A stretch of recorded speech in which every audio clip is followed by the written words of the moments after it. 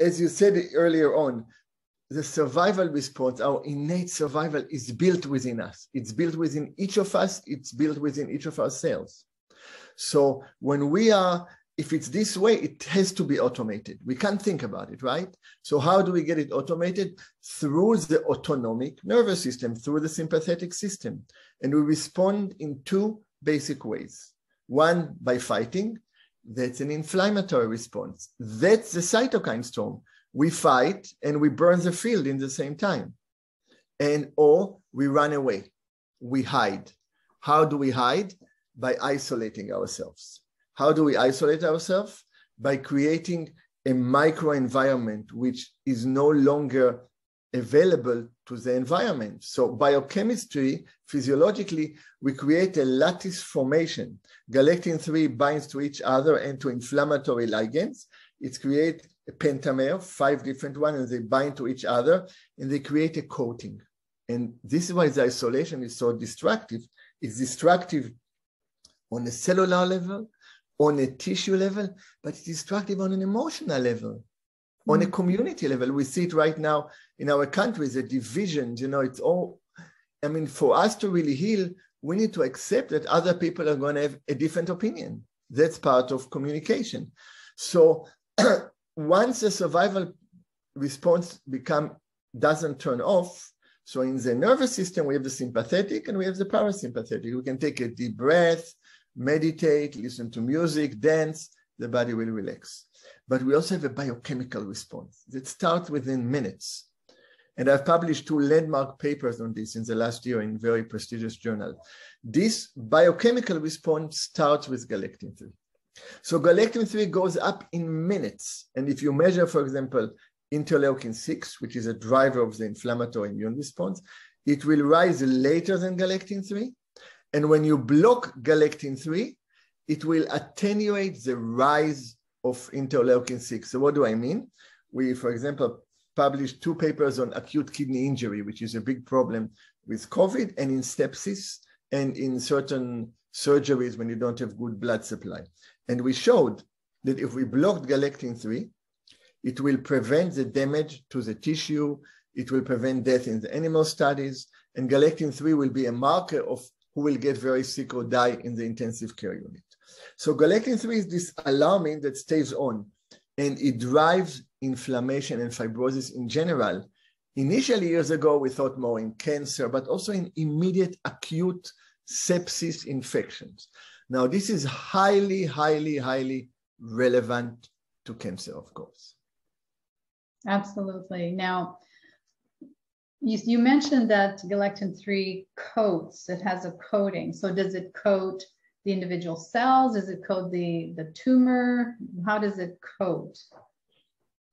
So, it codes both. So, galectin 3, so maybe I'll take a step and I want to a little bit give the people who are going to watch this a sense of wow. Okay, it's really a wow. Okay, so if we look at our body, we are hmm. not aware that we have, I'm going to round up, okay, about 50 trillion cells. Okay, so trillion is a million, big number already, times a thousand, like thousand millions is a billion. A thousand times is a trillion, 50 times. Wow. Each cell, and I wasn't aware of it, has up to 1 million reactions a second. And this body is functioning with pretty much infinite reactions every second. So just us being alive and be able to talk now is truly a miracle. That's a miracle of life. I mean, we should be grateful just for being part of this miracle, you know. And then each cell knows that it has a role. I like to use the, the analogy of a beehive, where each bee contributes to, to, to the beehive. I, I raise bees as a hobby for many years. It's it, it helps me to really feel and understand this. But uh, so, so each cell knows that it's going to come into existence, it's going to function, it's going to die when the times come through apoptosis, and another cell will come. We understand and we let go of this idea that things are not going to change. But a certain cell decides that it doesn't want to die. But it's going to get signals to that it's going has to die. So what does it do? it creates a microenvironment. It isolates itself and it creates an environment of crisis, an environment which is deprived of oxygen, even in the presence of oxygen in the whole system. Okay, so galectin 3 creates this. As a result, our macrophage, our immune cells become inflamed. Our receptors to the cell change. Our insulin receptors get blocked. Our P53 gets suppressed. Our, our AMPK is the main pathway to produce normal uh, mitochondrial metabolism gets blocked.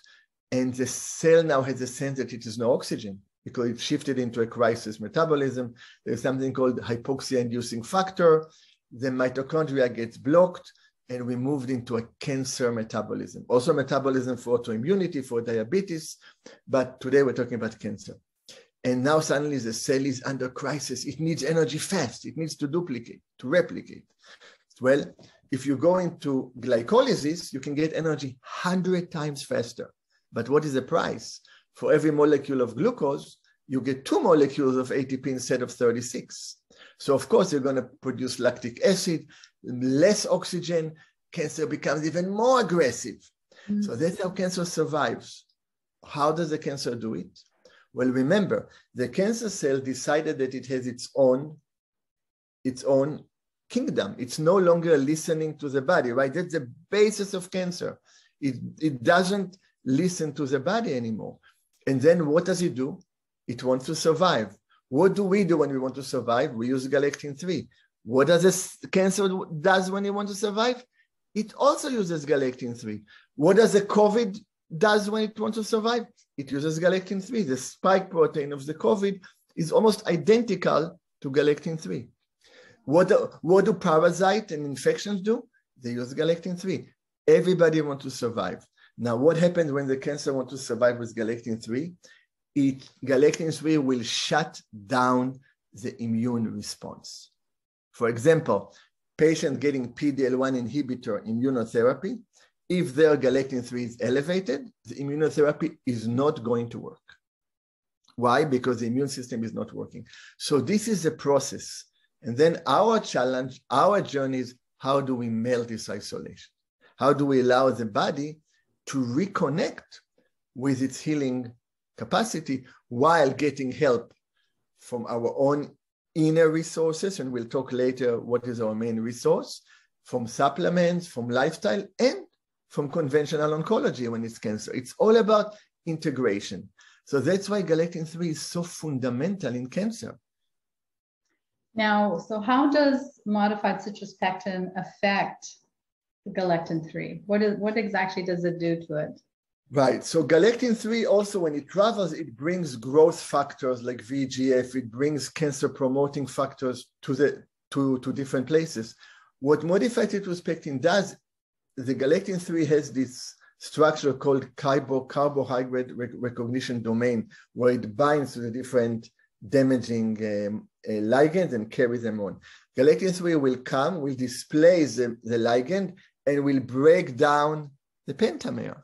So what it does, it dissolves the lattice formation. And now, first, the tissue can get oxygen. It's no longer in crisis. You know, one of the questions I ask my patient when I do healing for them, I really use my hands with the COVID, it's a little bit less.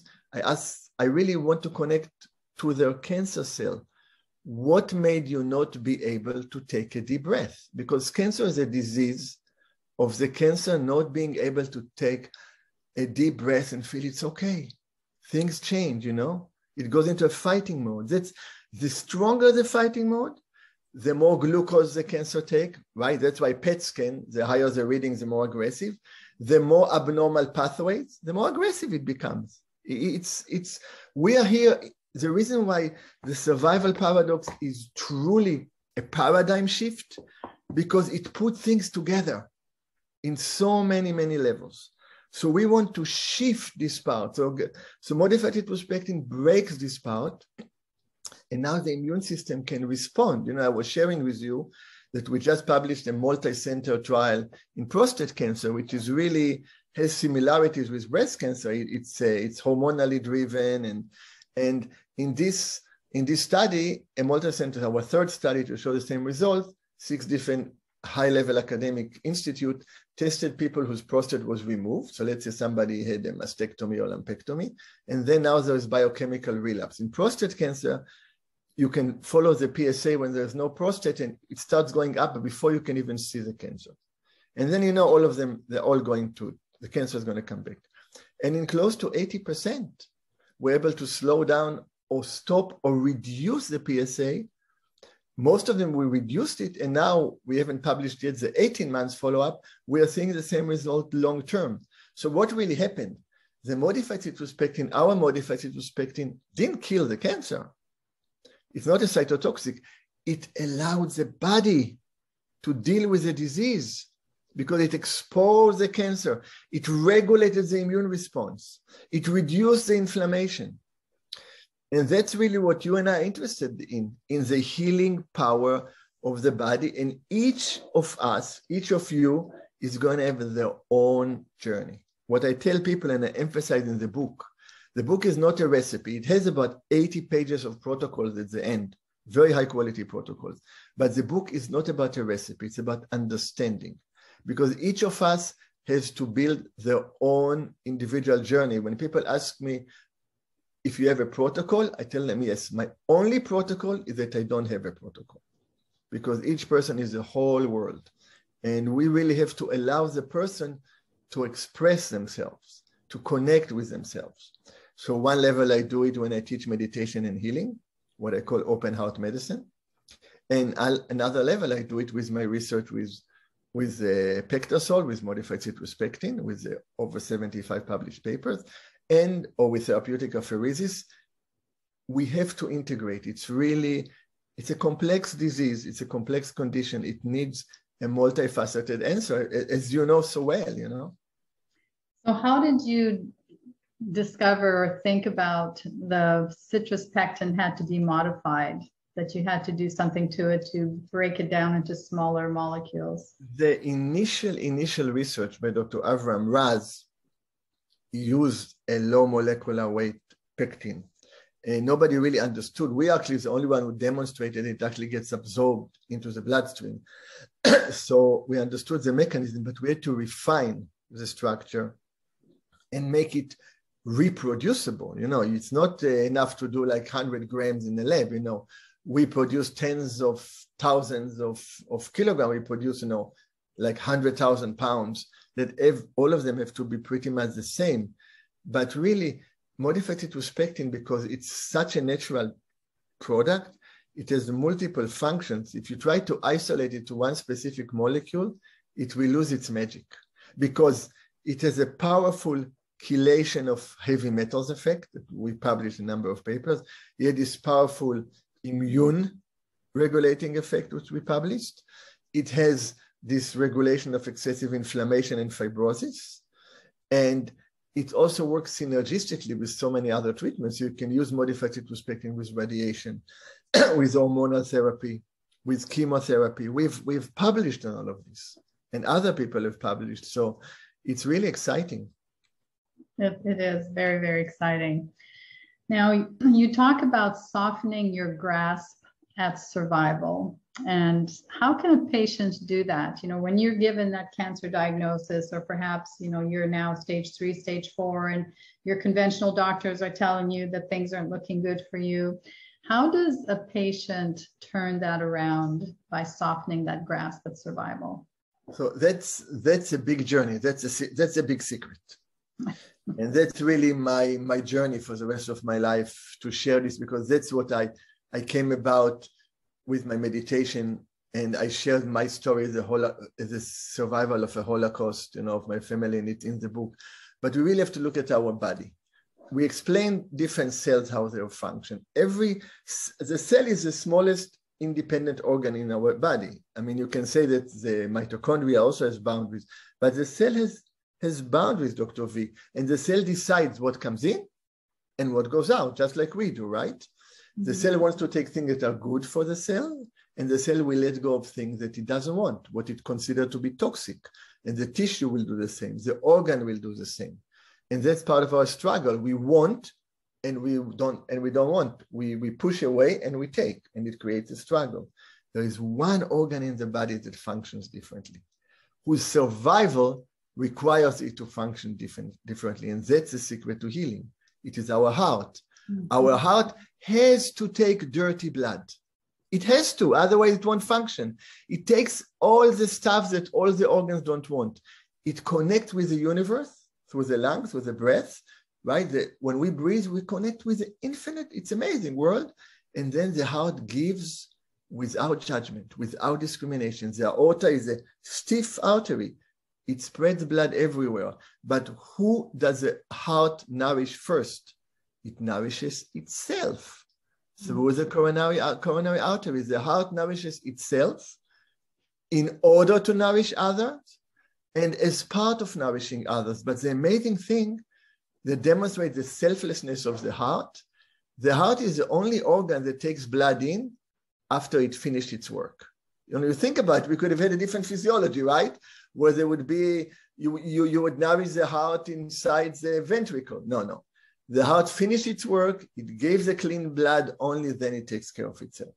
So connecting with our heart is how we truly let go of the survival paradox. Know, it takes time. And in the book, I tell the story about I'm named after my grandfather, Isaac, who I didn't meet, who died at the age 50 in Israel. And it was in 1952. And my grandmother, who lived to 98 when she died in the 2007, on her grave, my mother turned to us, we have five siblings, and said, You know, your grandfather had eight siblings, five of them were killed by Hitler. We never knew. Nobody told us. It was never spoken. In fact, she didn't know the right number. She said 10 out of 12. In any case, but it was five out of eight because I checked it. In any case, he died from stomach cancer. He couldn't speak about it. He couldn't stomach the trauma. Mm. While my grandmother was a survivor. She overcame two cancers, including inflammatory triple negative breast cancer at age 82. Okay, so this she was a survivor, and all my life I felt this very tight pain and pressure at the center of my chest. I kind of point out, I mean, right, right here, and I knew that it's something deep, and I knew that it's connected to my grandfather, but through my meditation and through my own inner work, I realized that I'm carrying his trauma, which passes genetically and epigenetically. The one chapter before the last in the book which I really recommend people to read. is called Addressing Your, Your Scars of Survival. It's a multi-generational genetic and epigenetic. I was holding his trauma. And suddenly, just a few years ago, 50 years after having this pain, it's gone. I mean, I'm in my 60s, it's gone. And my chest is open. It's like different. People can see it. But what is the amazing story? My mother who didn't know about this this kind of work, but we are, I'm the oldest one, and we are very closely. Eh, our connection is very deep. She could never see any movies or TV programs on the Holocaust, and suddenly, a few years ago, she was able to suddenly see programs on the Holocaust. She had her own healing. Why? Because my multi generational healing it went back to her grandfather and affected her forward. So this is a multi. That's the power of healing from our heart and mm. that's when people have cancer, and as some of my students where I teach meditation healing say, they say, Isaac, you are the best person we met who can understand cancer patients who didn't have cancer, you know? You're not understanding until you bite, because, and this will resonate to each of you, the moment you are diagnosed, your priorities shift. Mm-hmm. You know, when I work with patients, I ask them, what were your priorities a moment before you were diagnosed? What were your priorities a moment after? And what are your priorities now? And that's a journey we have to make. So, so in this sense, it's so multi-dimensional. And so when we have cancer, when we face death in our face, it gives us an opportunity to let go, to heal. That can be taken away very quickly by the oncologist telling us you have six months to live and you got to do something in two hours. And if you don't, this, no. One set of fears can be replaced with a set of fears very quickly. So part of the strategy for the cancer patient is not to fall into this trap, to know, and uh, also not to connect directly or uh, getting rid of cancer with healing. These are two different processes. But when you address your healing, your chance of getting rid of cancer is much, much higher. You know, they are highly connected, but there are two different processes. And some of the greatest healing stories I had in my life, uh, some patients I really helped for years, but the real healing happened when they ended their life, you know. And so it's all about letting go of this holding because this holding is what drives cancer. So it's a journey. It's fascinating. In this sense, every patient is amazing. Every person is amazing. Yeah.